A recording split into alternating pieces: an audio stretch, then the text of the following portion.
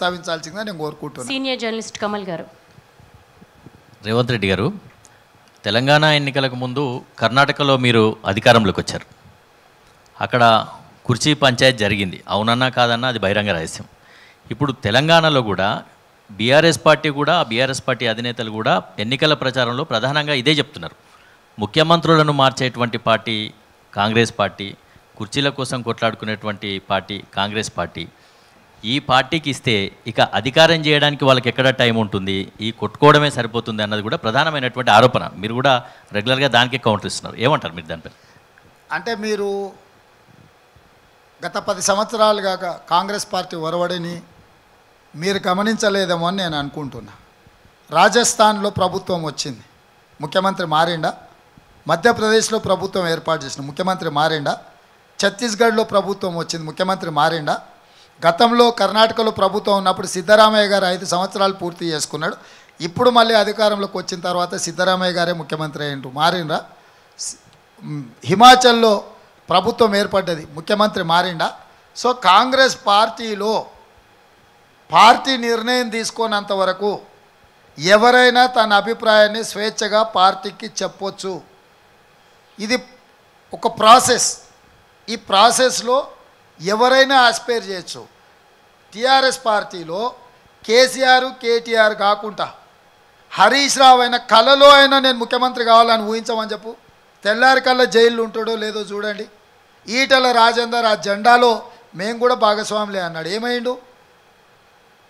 ఆ జెండాలో మేము భాగస్వాములు అన్న ఈటల రాజేందర్ ఏమైండు?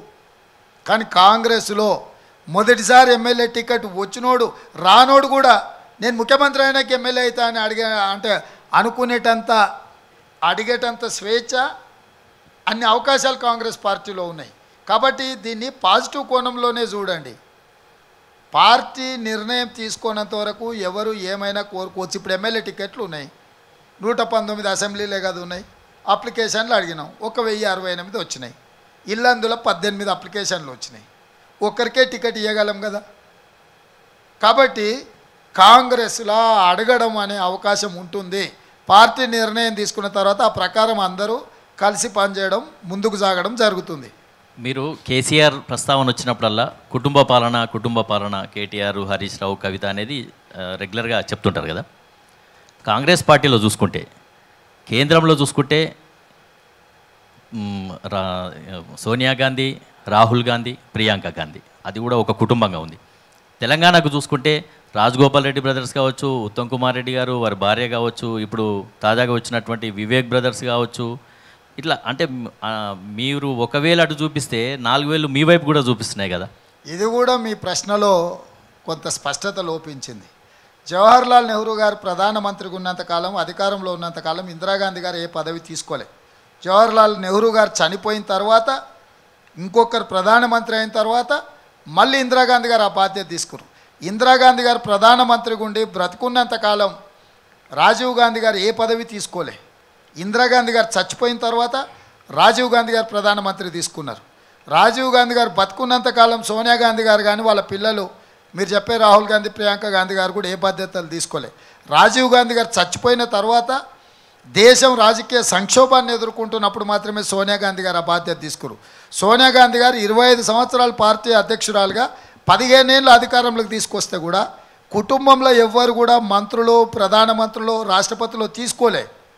ప్రజలెన్నుకున్న ఎంపీలుగానే పరిమితం అయిపోయి మిగతా వాళ్ళందరినీ ఓ ప్రణబ్ ముఖర్జీనో మన్మోహన్ సింగ్నో ఓ పివి నరసింహారావునో వీళ్ళందరినీ ప్రధానమంత్రులుగా రాష్ట్రపతులుగా ఒక ప్రతిభా పాటిల్నో వీళ్ళందరికీ అవకాశాలు ఇచ్చిండ్రు. ఎప్పుడు కూడా మా కుటుంబం రాజకీయాలలో ఉండదని వాళ్ళు ఎప్పుడు చెప్పలే. మా కుటుంబం ఈ దేశం కోసం ప్రాణాలు ఇస్తుందని మూడు తరాలు వరుసగా ప్రాణాలు ఇచ్చిండ్రు వాళ్ళు. కేసీఆర్ విషయంలోకి వచ్చినప్పుడు తెలంగాణ ఉద్యమంలో కేసీఆర్ ఏం చెప్పిండు? నా పిల్లలు అమెరికాలో ఉన్నారు. నేను మా ముసలామె ఉన్నది ఆమె వండి పెడుతుంది. నేను తెలంగాణ ఉద్యమం చేసి తెలంగాణ రాష్ట్రాన్ని సాధిస్తా.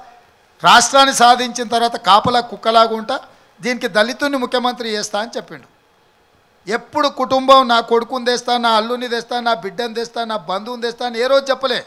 కానీ తెలంగాణ ఉద్యమం బలపడ్డ ఎంబడే ఒకరి తర్వాత ఒకరు ఇంపోర్ట్ అయినరు.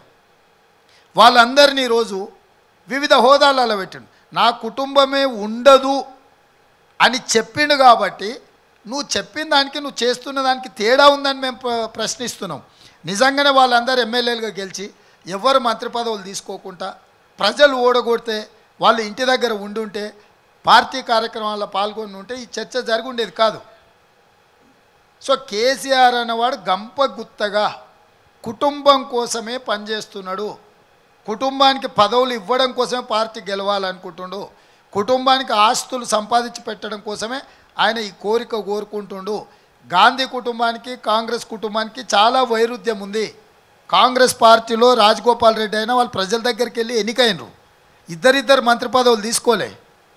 పట్టి విక్రమార్క మల్లురావు గారు ఎట్ టైం మంత్రి పదవులు తీసుకోలే. వివేక్ వినోద్ ఎట్ టైం మంత్రి పదవులు తీసుకోలే. ఇవాళ వాళ్ళ ఇంట్లో ఉన్న వాళ్ళు తండ్రి కొడుకు అల్లుడు బిడ్డ చూట్టం అందరు ఎట్ టైం బోట్ ఎక్కిండ్రు సో ఇంత వైరుధ్యం ఉంది కాబట్టి ప్రజలకు అందుకే నేను చెప్తున్నా.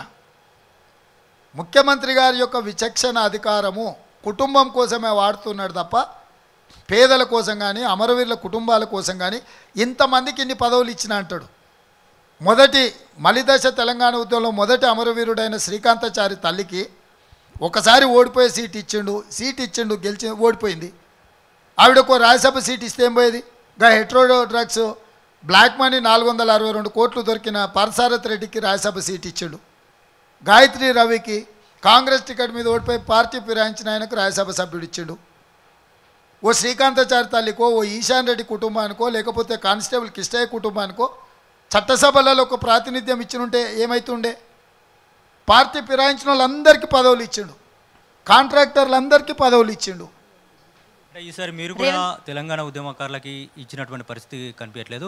చాలా కాలంగా కాంగ్రెస్ను పట్టుకుని ఉన్నటువంటి వ్యక్తులకు కూడా ఈసారి మీరు టికెట్లు ఇవ్వలేదు. దానికి ఏం సమాధానం? ఇప్పుడు మహేష్ గారు మీరు చాలా కాలం అంటే ఏంది cut off date nineteen forty seven కంటే ముందా? Nineteen forty seven తర్వాతనా?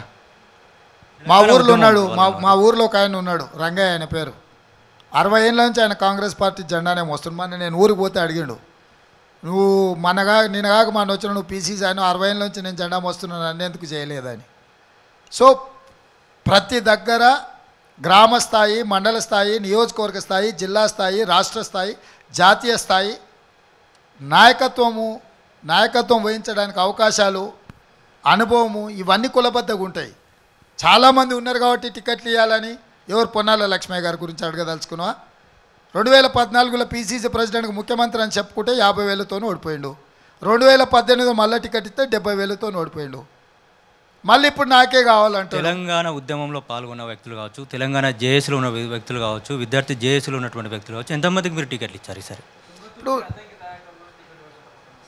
సార్ దాని కంటిన్యూటీ సార్ ఇప్పుడు ఏంటంటే రాష్ట్రంలో తెలంగాణ రాష్ట్రంలో ముఖ్యంగా సీట్ల విషయంలో చాలా గందరగోళం జరుగుతుంది. ముఖ్యంగా మీ మీద వేలెత్తి చూపిస్తున్నటువంటి పరిస్థితి.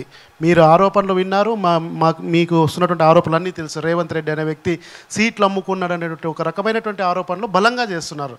దీని అన్నిటికీ రేవంత్ రెడ్డి దగ్గర ఉన్నటువంటి సమాధానం ఏంటన్నది ప్రతి ఒక్కరు ఎక్స్పెక్ట్ చేస్తున్నారు సార్. ఇప్పుడు అద్దంకి దయాకర్ దగ్గర ఇచ్చిన మందుల సామెలు రెండు వేల ఒకటి నుంచి తెలంగాణ ఉద్యమంలో ఉన్నాడు. ఉద్యమ ద్రోహికి ఇయ్యలే అక్కడ. దయాకర్ స్వయంగా నేను మందుల సామెలను గెలిపిస్తా అని చెప్పిండు. దయాకర్ సేవల్ని ఇంకో దగ్గర పార్టీ వాడుకోదలుచుకున్నది. దయాకర్కి రేపు రాజ్యసభ ఇవ్వచ్చు రేపు ఎమ్మెల్సీ ఇవ్వచ్చు లేకపోతే కర్ణాటకలో బోసరాజు గారికి ఇచ్చినట్టు మంత్రి ఇచ్చి తర్వాత ఎమ్మెల్సీ ఇచ్చారు కదా. దయాకర్ సేవలు అట్లా కూడా వాడుకోవచ్చు కాంగ్రెస్ పార్టీ.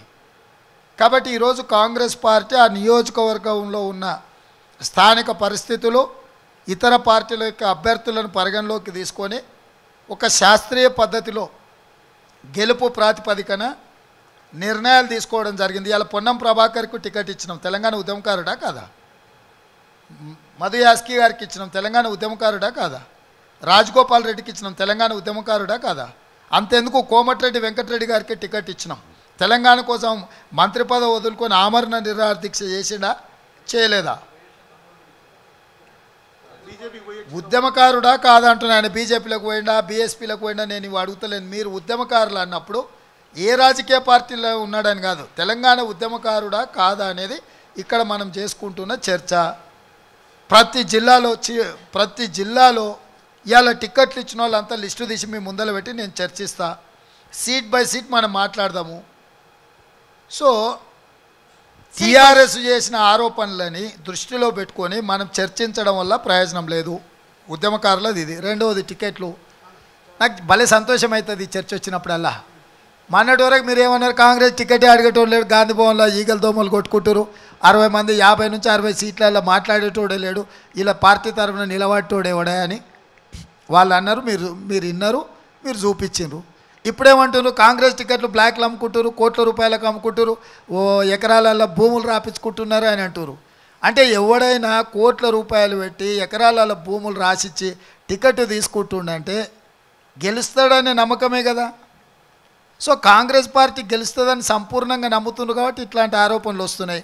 ఆరోపణలు చేసిన వాళ్ళు మూడు రోజులు ఆరోపణలు చేసినారు నాలుగో రోజు ఏడదేలినరు పింకు కాండువా కప్పుకొని అందులో తేలినరు మరి నేనేం చెప్పిన కొంతమంది కోవర్తులు ఉన్నారా? వీళ్ళని ఏర్పాడేయాలని చెప్పిన? బలవంతమైన క్యాడర్ ఉన్న చోట బలహీనమైనటువంటి లీడర్లు కాంగ్రెస్ పార్టీ ఉన్నది వెనుక పెట్టడం వెనుక మీరు ఉన్నారు. ఎందుకంటే ఈరోజు మార్నింగ్ కొద్దిమంది చేశారు సీట్లు రాని వాళ్ళు ధర్నాలు చేశారు. కూడా ధర్నాలు చేసినటువంటి పరిస్థితి ఉంది. సో దాని వెనక అంతా కూడా మీరే ఉన్నారన్నది మొత్తం మీ చుట్టూనే తిరుగుతుంది. మీరు సక్సెస్ అయినట్ట లేకపోతే ఏంటన్నది అర్థం కావట్లేదు. ఇప్పుడు నేను అనే పదానికి చాలా అర్థాలు ఉన్నాయి. కానీ కాంగ్రెస్ పార్టీలో నేను అనే పదంతో నిర్ణయాలు జరగవు.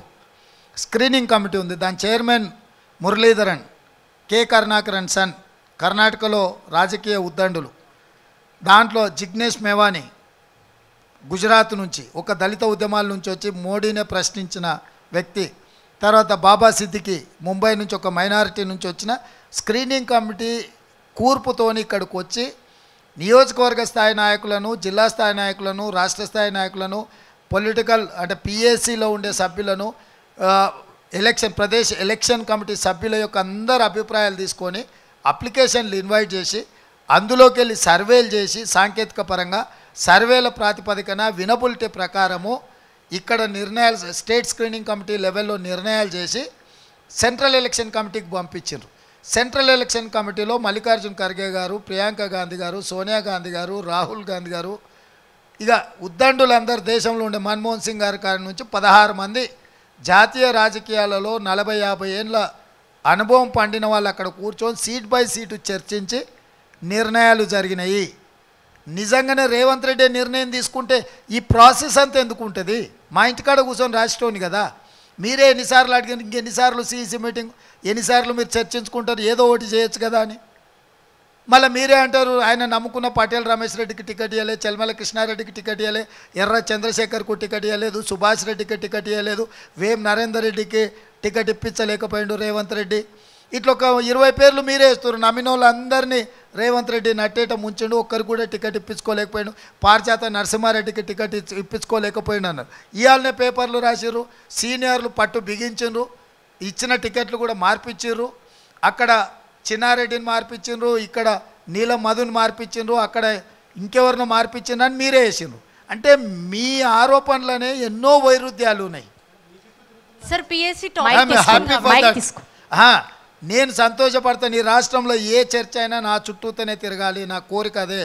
ఈ రాష్ట్ర రాజకీయాలు నా చుట్టూతో తిరగడం అనేది నాకు చాలా ఇష్టము.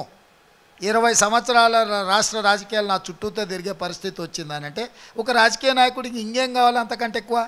రేవంత్ రెడ్డి గారు వరుసగా రెండు మూడు రోజుల నుంచి ప్రచారం అంతా కర్ణాటకలో